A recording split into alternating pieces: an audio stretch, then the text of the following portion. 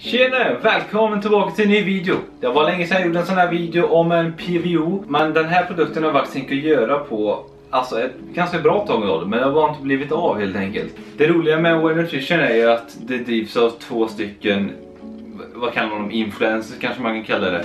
Eh, Fabian Giel och Joel Lindqvist vad han heter. Och så jag tror det kan ha varit en tredje kille involverad också. Men nu vet jag inte om han inte är med längre eller hur det ligger till. Men eh, de två känner jag till i alla fall. Aware Nutrition är liksom ett up and coming bolag just nu inom kosttillskottsgrejer. Vad säger man? Eh, de har ökat sin omsättning rejält. Jag såg en artikel om det också. Ja, kul för dem liksom. Men jag har sett många promota Aware Nutrition och deras PVO nu på Instagram framförallt. Och jag tänker, då är det dags. Idag är det upp till bevis. Är den så bra så att den förtjänar all promotion eller är de bara smarta med hur de promotar? Jag vet inte. Är den så bra som folk säger? Eller capar alla för att de vill ha spon. Jag i alla fall capar inte. Jag capar aldrig. Och jag kommer ge min ärliga åsikt för jag har ingen som helst chans att bli sponsrad ens. Så ni behöver inte oroa er. Jag kommer säga vad jag tycker. I alla fall, så det här är min nya PVO jag har köpt då. Inte sponsrat, inte något sånt. Aware Pre-Workout 8000 mg citrullin, 4000 mg beta-alanin, 1000 mg nalt, det vet inte fan vad det är, eh, 400 mg kaffein. Warning, extreme PVO formula. Eh, det är lite så här, det står det på allt. Och så står det också Focus Pump Energy Strength. Jag vet inte om den har tänkt tagit alltihopa, det hoppas jag verkligen alltså. Och smaken valde är Sour Candy Skulls Flavor. Och här står det dosering. För bäst effekt blanda 1-2 skopor, alltså 11-22 gram med 300 ml vatten och drick 20-30 minuter innan fysisk aktivitet. Det här som står det fram måste vara om man tar två skopor alltså då.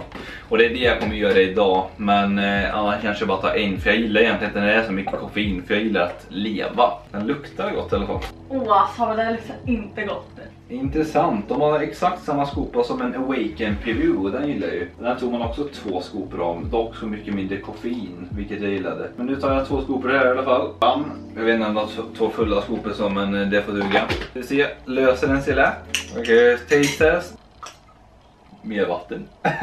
Åh helvete. Mer gott och bart. Nu smakar det ganska gott. Det sura i den här påminner väldigt mycket om en Awaken PVO, samma sak med skopan och innehållsförteckningen liksom. Jag tror de är ganska lika. Så det känns som att detta kommer vara som en Awaken-ish. Fast med mer koffein. Och jag vet inte om det kanske blir bättre då eller sämre. Det får vi se liksom. Men det är mina första intryck. Får se hur enkelt det är att få ner. Inga pulver kvar i botten heller. Glödda timmar om 20 minuter. Får ni se vad jag känner. Det är Titti-pass idag. Första intryck under mitt första pass var bra. Jag hade bra energi och fokus under hela passet och det var inget problem. För er som gillar när det sticker i kroppen så kan jag glatt meddela er också att jag kände av stickningar. Jag skulle beskriva dem som medelstarka. Pumpen kändes också ganska bra och, det, och jag kände att jag fick lite bättre kontakt på grund av det.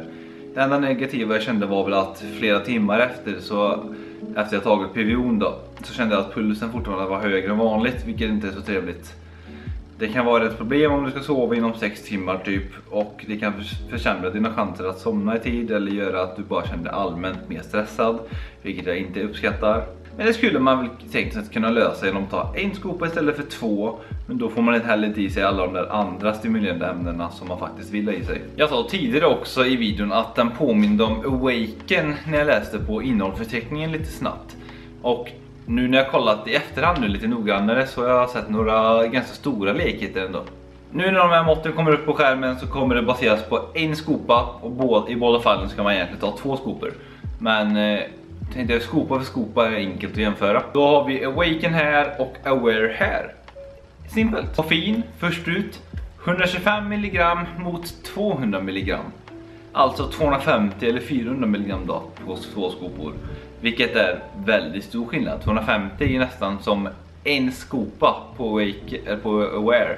Medan Awakens två skopor är precis över en skopa koffeinmässigt. Det gillar jag faktiskt. Det är en extra poäng till Awaken skulle jag ändå säga. Sen citrulinmalat 4,5 gram mot 4 gram. Ganska likt. Beta-alanin exakt samma, 2 gram vardera. Sen något som heter ALT. Då är det 750 mg mot 500 mg. Sen L-theanin är 200 mg vardera också. Så det är de gemensamma ämnena och sen så skiljer de lite. Awaken innehåller bland annat, bland annat också rosenbladsextrakt, duvstjärnsextrakt och korvträdsextrakt. Ja, skumma grejer. Och här innehåller också triatinmalat, 2 gram. Ja.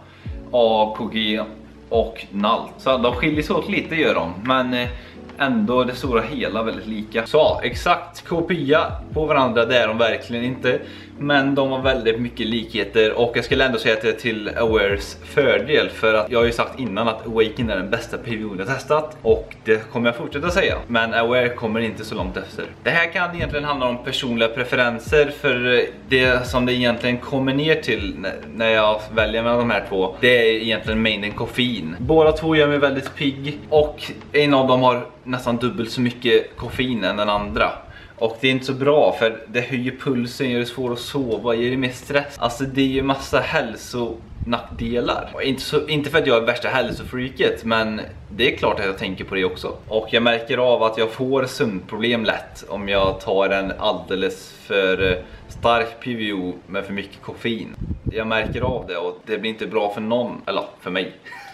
Så det egentligen handlar om är att jag tycker att den här all extra koffeinet som du får i dig i Awares PO inte är värt de extra hjärtslagen du får sen som gör att du kanske blir stressad eller kanske inte kan sova när du behöver sova och sånt. Till exempel så Aware har ju 400 mg koffein, gör mig pigg. Samtidigt som, samtidigt som Awaken har 200 mg och gör mig pigg. Medan en annan PVO jag testat som är dålig har också 400 mg precis som Aware, bara att den gör mig degig. Den gör ingenting, men det är 400 mg koffein. Då vill jag hellre att de fyller ut skoporna med lite mer kvalitativa ämnen, eh, alltså allt citrullinmalat och mer sådana grejer, eller L-teanin och sånt.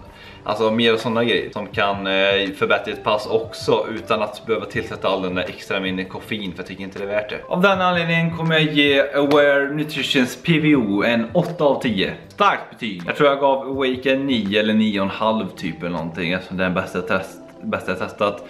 Och hade den här haft mindre koffein kanske den hade varit typ på samma nivå. Hade de istället valt att ta lite mer den inriktning som Awaken ändå gjort, att sänka koffeinet lite men höja de andra kvalitativa ämnena. Ja, då kanske det hade varit ett annat betyg här. Men nu är det inte så. Men det är min eh, konstruktiva kritik till grabbarna på World Nutrition. Behöver inte de lyssna på mig visserligen, för vem fan är jag? Men eh, det är vad jag tycker i alla fall och det är det jag har känt när jag har använt deras PVO. Har ni gillat denna videon och vill se fler videos som denna eller träningsrelaterade grejer eller investeringsgrejer eller reaktionsgrejer, det kommer upp lite sånt också ibland. Eh, då får ni gärna likea videon och subscriba såklart. Eh, jag hade verkligen uppskattat så det hjälper kanalen väldigt mycket. 650 subs, kan vi nå det? Jag hoppas det. Inom denna månaden. September är månaden. 650 subs. Make it happen. Tack för att ni kollat. Hej.